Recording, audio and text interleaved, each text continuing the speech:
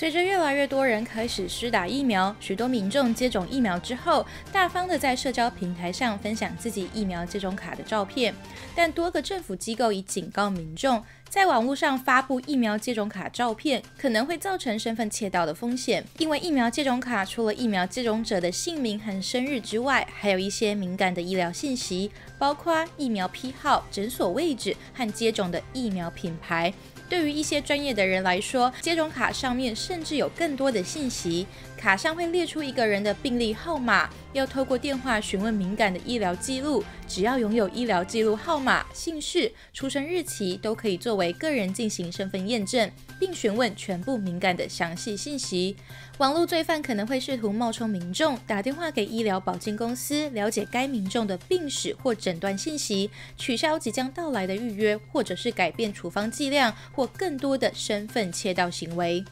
无论有没有医疗记录号码，疫苗卡也允许骇客进行网络钓鱼、窃取数据和密码。联邦委员会上个月发布的文章中也表示。一旦诈骗集团得到这些个人信息，他们就能用这些信息，并以受害者的名义开新账户，为自己申请退税，并参与其他的身份盗窃。网络安全专家提到，目前他们不确定疫苗卡的存在与任何广泛的骇客攻击或诈骗行为是否有直接关系，但可以确定的是，这些安全威胁将非常容易执行。提醒民众勿将自己的个人信息轻易地发布在社交媒体上。因为当犯罪者伪装成可以信赖的人时，大多数在线欺诈都会成功。